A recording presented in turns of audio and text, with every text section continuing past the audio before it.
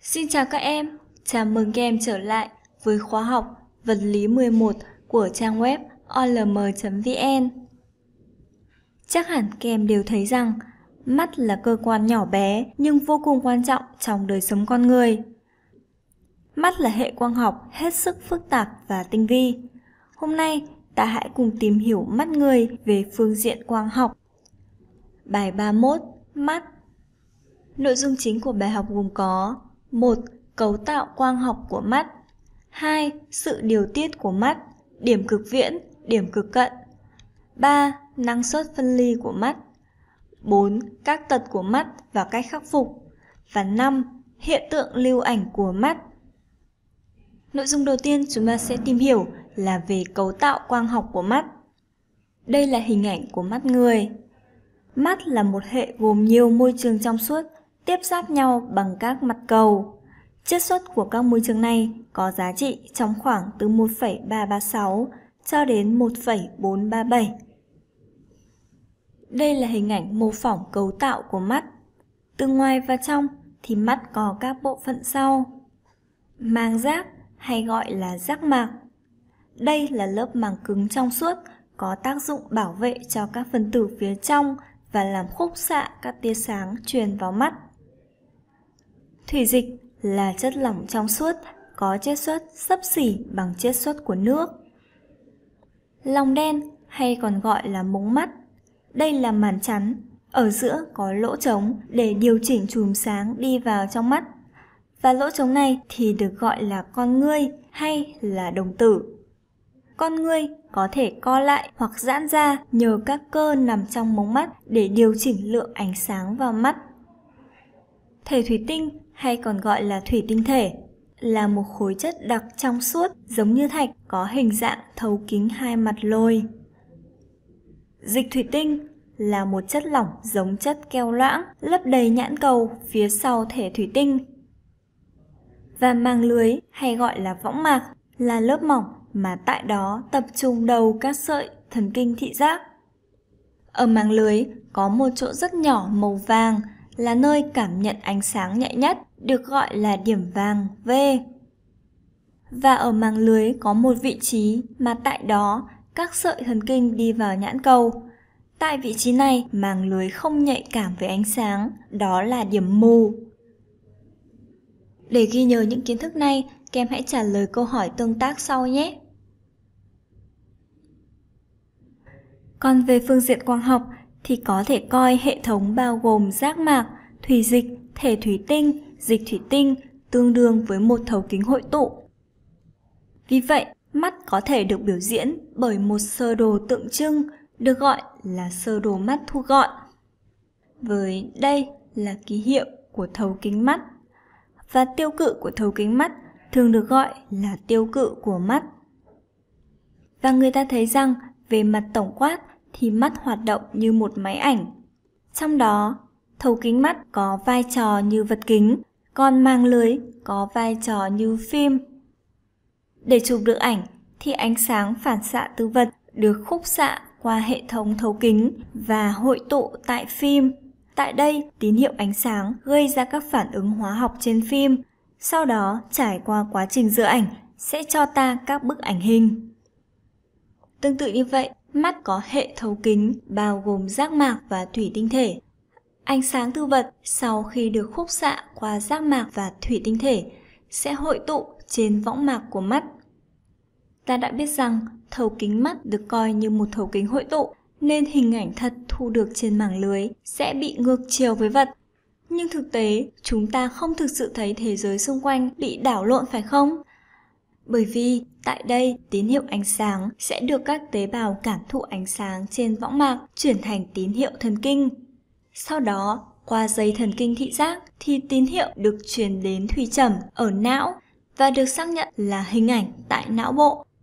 Và qua quá trình truyền tín hiệu như vậy thì những hình ảnh từ võng mạc đã được dựng thẳng đứng lên ở trong não. Đó chính là lý do tại sao mà chúng ta không thấy thế giới xung quanh bị đảo lộn. Thật thú vị đúng không các em? Trước khi chuyển sang nội dung tiếp theo, các em hãy trả lời câu hỏi sau đây nhé. Nội dung thứ hai của bài học đó là sự điều tiết của mắt, điểm cực viễn, điểm cực cận. Khoảng cách OV từ thấu kính mắt cho đến màng lưới hay điểm vàng thì có một giá trị D phẩy nhất định. Khi ta quan sát một vật thì khoảng cách từ vật đến mắt được ký hiệu là D.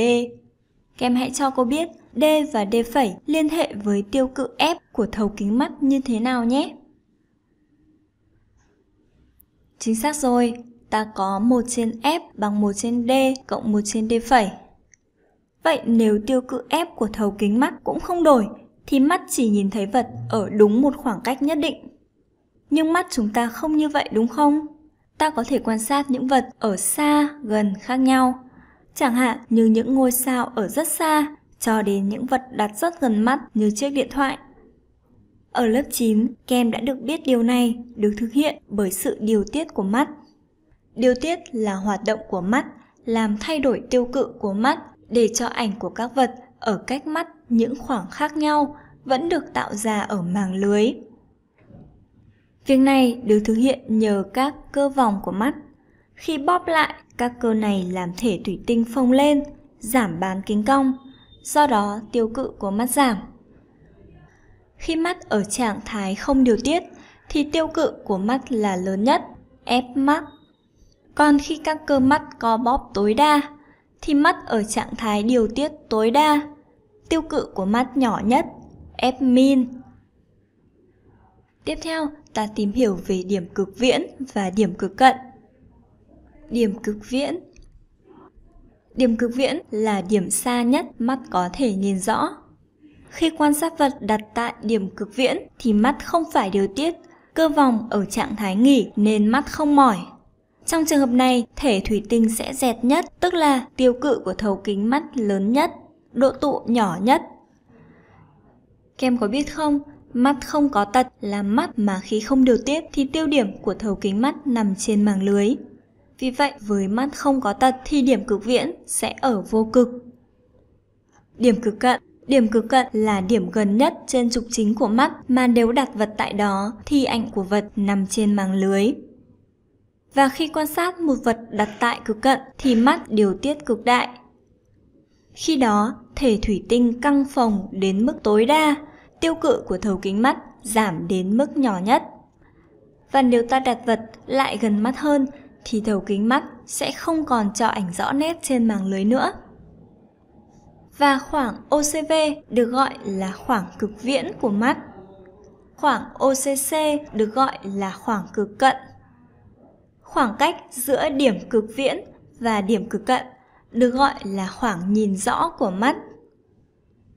Và các em cũng lưu ý rằng, độ lớn của khoảng cực cận phụ thuộc độ tuổi. Càng lớn tuổi thì điểm cực cận sẽ càng rời xa mắt. Các em đã ghi nhớ những kiến thức này chưa? Hãy trả lời câu hỏi tương tác dưới đây nhé. Ta hãy cùng làm ví dụ sau đây. Một người mắt bình thường về già, khi điều tiết tối đa thì tăng độ tụ của mắt thêm một diop, xác định điểm cực cận và cực viễn.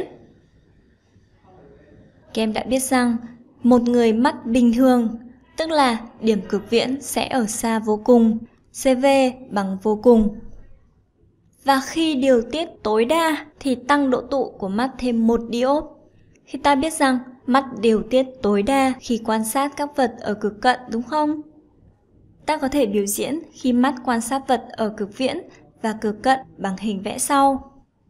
Khi mắt quan sát vật ở cực viễn thì ta có 1 trên FV bằng 1 trên OCV cộng 1 trên OV. Với FV là tiêu cự của thấu kính mắt khi quan sát vật ở điểm cực viễn. OCV ở đây là khoảng cách từ thấu kính mắt cho đến vật. Còn OV là khoảng cách từ thấu kính mắt cho đến ảnh hiện lên ở võng mạc. Tương tự, khi mắt quan sát vật ở điểm cực cận thì ta có 1 trên FC bằng 1 trên OCC cộng 1 trên OV. Từ hai điều này, ta sẽ có 1 trên FC trừ 1 trên FV bằng 1 trên OCC trừ 1 trên OCV. Mặt khác, 1 trên F bằng D, độ tụ của thấu kính. Vì vậy, ta có DC trừ DV sẽ bằng 1 trên OCC trừ 1 trên vô cùng. Mà theo đề bài thì khi điều tiết tối đa, mắt tăng độ tụ thêm một diop. Vì vậy, DC trừ DV sẽ bằng 1. Và 1 trên vô cùng thì bằng 0. Do đó, ta suy ra được 1 trên OCC sẽ bằng 1.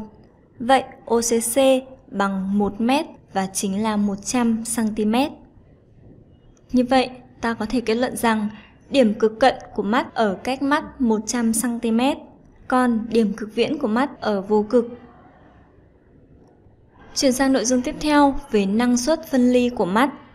Để mắt có thể nhìn rõ được một vật AB, tức là có thể phân biệt được hai điểm A, B, thì ta cần có hai điều kiện. Điều kiện thứ nhất là hai điểm A, B phải nằm trong khoảng nhìn rõ của mắt. Và điều kiện thứ hai là góc trông vật, tức là góc alpha, phải lớn hơn hoặc bằng một giá trị tối thiểu, được gọi là năng suất phân ly của mắt. Góc trông alpha lớn hơn hoặc bằng alpha min bằng epsilon. Epsilon chính là năng suất phân ly của mắt. Năng suất phân ly thay đổi tùy theo từng người, nhưng giá trị trung bình là epsilon sấp xỉ 1 phút, sấp xỉ 3 nhân 10 mũ trừ 4 radian. Khi góc trong vật này nhỏ đến một giới hạn nào đó, thì hai ảnh A phẩy và B phẩy của A và B trên màng lưới sẽ rất gần nhau và nằm trên cùng một đầu tế bào nhạy sáng. Khi đó thì mắt sẽ không còn phân biệt được hai điểm A và B nữa.